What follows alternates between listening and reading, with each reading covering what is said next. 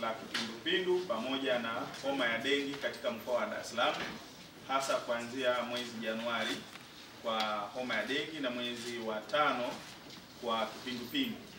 Lakini idara ya afya mkoa wa Dar es Salaam kwa kushirikiana na DAWASA tuliweza kufanya kazi kwa pamoja kuhakikisha kwamba tunatatua hiyo changamoto, kwa sababu kama shirika hilo linahusika na maji safi na maji taka. Kwa maji taka ni pale ambapo unakuwa na utiririshaji wa maji, mabomba yao yamepita kwenye sehemu ambazo maji ni machafu, maji, eh, mabomba yaliyopasuka. Kwa timu yetu ya afya na timu ya DAWASA huwa tunakwenda pamoja, hasa kwenye yale maeneo ambayo ni korofi na yameonekana kwamba kipindupindu kimekuwa kikijirudia. Kwa wameweza kuboresha upatikanaji wa maji kwenye hayo maeneo, lakini kuja na mbadala wa namna ya kusuluhisha tatizo la ujaji wa vyoo. Kwanza ni maeneo ambayo magari makubwa ya kunyonya maji taka hayawezi kufika, lakini wamebuni kwa kutumia hizi bajaji ndogo ambazo zinakuwa na matenki madogo, angalau inaweza kapenya kwenye barabara ambazo ni nyembamba na kufika kwenye makazi ya watu na kuweza kufanya unyonyaji wa maji taka, lakini vile vile eh, kutibu au kufanya chlorination maji yote ambayo yanasambazwa katika mkoa wa Dar es Salaam na hata vile visima, kwa kwanza kubaini visima vyote vilivyoko katika mkoa wa Dar es Salaam, vifupi na virefu vya kina, kuwatambua wamiliki wao. DAWASA ikafanya utaratibu wa kuwasajili na kuwapa namba za usajili, kutambua magari yote yanayosambaza maji safi na kuwapa stika pamoja na yanayosambaza maji machafu, yanayonyonya maji machafu, na nao wamesajiliwa na kupewa stika. Kwa hiyo kupitia vile visima, wale wamiliki wote walipewa dawa kwa ajili ya kutibu maji yao, visima vifupi pamoja na virefu, maeneo ambayo DAWASA hawafiki, lakini wameweza kutambua wale wamiliki wa maji. Kwa hiyo tunashirikiana na DAWASA kuhakikisha kwamba tunatokomeza kipindupindu katika mkoa wa Dar es Salaam, lakini vile vile kuhakikisha kwamba tunashirikiana na wadau mbalimbali, Wizara ya Afya, Wizara ya Kilimo kuhakikisha kwamba e, viuatilifu au wadudu wadhurifu tunawaangamiza kwa kununua mashine za fogging, kununua dawa ambazo tunanunua MSD kuhakikisha kwamba tunadhibiti ubora wa dawa zile, kwa sababu kulikuwa na malalamiko kwamba dawa zinazotumika ni feki, tuna uhakika gani? Kwa tukaamua kutumia mifumo yetu ya serikali, taasisi zetu za serikali, MSD kununua fogging machine pamoja na dawa za kufugiza au fumigation, uh, fogging kwa kifupi naweza kusema. Okay. Asante. Lakini jamani tuwapongeze Dar es Salaam. Angalau miezi miwili hakuna kipindupindu ni mafanikio makubwa sana.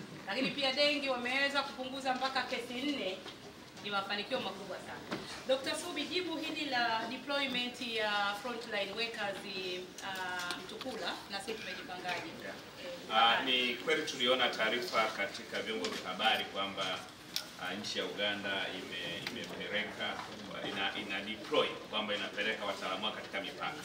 Sasa kwa sababu ni nchi ya Uganda siwezi kuisemea sana, lakini kwa sisi Jamhuri ya Muungano wa Tanzania katika mipaka yetu kama Mheshimiwa Waziri alivyoeleza, tunao wataalamu wetu ambao hili zoezi ni endelevu la kuendelea kuhakikisha watu wote wanaoingia nchini basi tunawatambua, lakini pia tuna waskrini dhidi ya magonjwa yoyote yale ya mlipuko. Kwa hiyo hili ni mojawapo ya jambo ambalo tunaendelea kulifanya, na labda tu kwa kwa kwa kwa ufafanuzi, nchi ya Uganda ni moja ya nchi ambayo tayari ishatoa taarifa za kuwepo kwa ugonjwa wa Ebola hivi karibuni, lakini pia nchi ya Uganda inapakana sana na nchi ya kidemokrasia ya Kongo, kwa sababu eneo la mlipuko huu katika nchi ya kidemokrasia ya Kongo ni takribani kilomita mia moja tu katika mpaka wa Uganda, na ndio maana hata taarifa zile zimekuwa zikiendelea kutolewa katika nchi ya Kongo, lakini pia nchi ya Uganda ya kuwepo kwa ugonjwa huu wa Ebola. Kwa hiyo kwa ujumla, swala la nchi kusema kwamba imedeploy wataalamu wake ni swala lake la nchi yenyewe. Sasa hatuwezi kujua wao wana motive vipi, lakini Tanzania ni nchi ambayo haina ugonjwa wa Ebola haina ugonjwa wa Ebola. Mheshimiwa Waziri ameeleza vizuri sana, kwa hiyo nitaka nitoe ufafanuzi.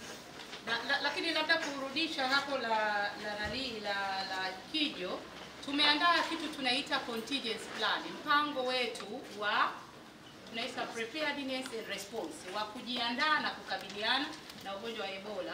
Kwa hiyo na ndio maana tunasema kipaumbele chetu sisi, badala ya tuhuma na kutoaminiana kwamba tunaficha taarifa, kama kweli nchi na wadau wana dhamira ya dhati ya kushirikiana nasi, basi watu, tukae nao tutekeleze ule mpango. contingent- Dr. Unayo contingency plan yetu hatuna, lakini tunayo, tumeonyesha pia, kwa sababu sasa hivi tuna tumeweka hawa wataalamu kwenye mipaka rasmi.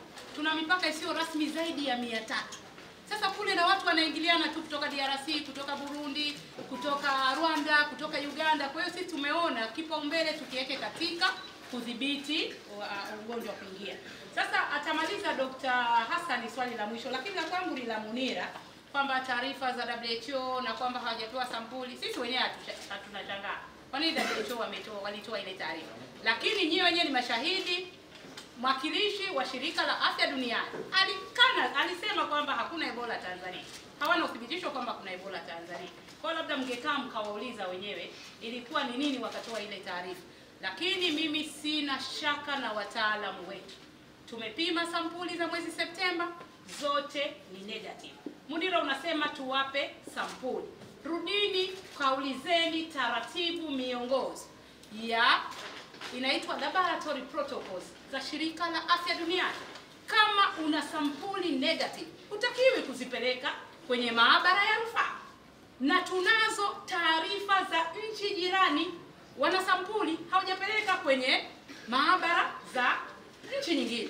Sasa ndio maana tunasema labda mkae nao muwaulize, lakini sisi tume comply, tupo ndani ya matakwa ya kanuni za afya za kimataifa. Ukipata sampuli kama ni, ne, ni positive tena zinatakiwa ziwe 25 Dr. Janet 25 na ndio na zifike 25 ndio unaweza kuzipeleka. Kwa sisi bado sasa hivi Munira na waandishi wa habari tuna tupo ndani ya muktadha wa kanuni za afya za kimataifa. Kwa hiyo haya maswali mimi si ningeenda kuyajibu, mnge vizuri mkaweza, lakini sisi kama serikali na ndugu wanahabari, tunaomba sana muwatoe hofu na wananchi na watu wote wenye mapenzi mema na Watanzania na wageni. Hatuna ugonjwa wa Ebola Tanzania, na nyie wenyewe ni mashahidi, madaktari wako hapa. Huwezi kuficha ugonjwa wa Ebola hata siku moja. Watuonyeshe mgonjwa wa Ebola yuko wapi? RMO Dar es Salaam, muulizeni kwenye vituo vyake kama ana wagonjwa. Hospitali ya Taifa Muhimbili hatuna, huwezi kuficha Ebola. Si kwa maslahi ya Watanzania wala Tanzania kuficha taarifa au uwepo wa ugonjwa wa Ebola. Hatuna ugonjwa wa Ebola, na tunaomba viongozi wa dini na Watanzania tuendelee kuiombea nchi yetu tusipatwe na janga hili. Tunaomba sana. Hatuna, tunamshukuru Mungu na tutaendelea kuchukua hatua za kuhakikisha ugonjwa huu hauingii nchini. Labda sasa mtaalamu wa media, sasa hizo Madam, madam. Sorry, kuna kitu umeweka hapo umeji, katika kumjibu Munira kime rise. yes. Na, naomba niingilie kati.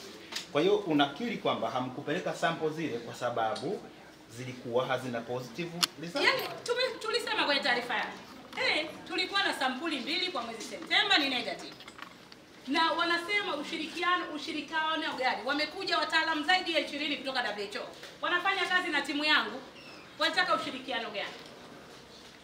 Na mpaka sasa hivi si wapo ndio Hawa hawapo? Eh, kwa hiyo sisi hatujui, lakini sisi tunasimamia. Bahati nzuri mwenyewe mwakilishi amekiri kwamba hakuna Ebola, kwa angalau na wenyewe labda hatujui motivu ya nini, lakini sisi hakuna Ebola, tunamshukuru Mungu na tuendelee kushikamana. Lakini narudia kutoa tena msisitizo, tishio lipo, kwa hiyo tuendelee kuwahamasisha na kuwaelimisha wananchi wachukue tahadhari. Dr. Ama amesambaza mabango, unayo mabango yako? Kwa hiyo tuna mabango haya sasa hivi mkiona tuna tuna tuna tunayasambaza eh, ya tahadhari eh. Kwa hiyo tuna tunaonyesha kabisa tahadhari, dalili ni zipi za Ebola. Kwa hiyo mabango haya ndiyo ndiyo kubwa, yaani badala ya kupoteza muda kwangu mimi ni kuhakikisha wananchi wana elimu na taarifa sahihi kuhusu ugonjwa huu. Endapo kuna mshukiwa, watupe taarifa, sisi tutafuatilia mara moja. Ya, mimi nimemaliza. Asante sana Mheshimiwa Waziri.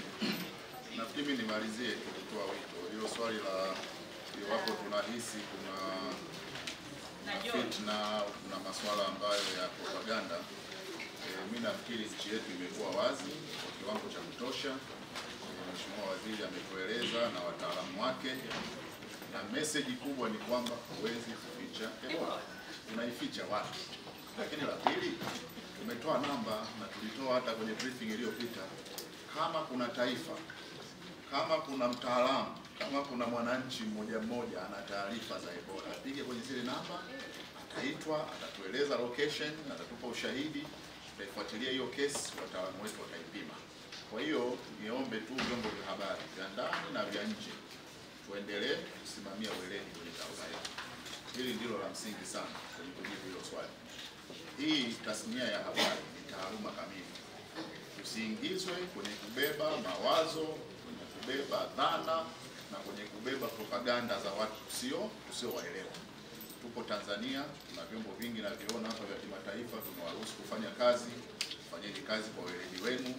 Nafahamu kabisa kifungu cha kumi na tisa kwenye mkataba wa kimataifa wa haki za kisiasa na kiraia kinasisitiza kwamba vyombo vya habari viko huru, lakini ukienda kwenye ibara ndogo ya tatu pale inasisitizwa wajibu wetu tuhakikishe masuala yanayohusu kufuatilia mambo tufuatilie tupate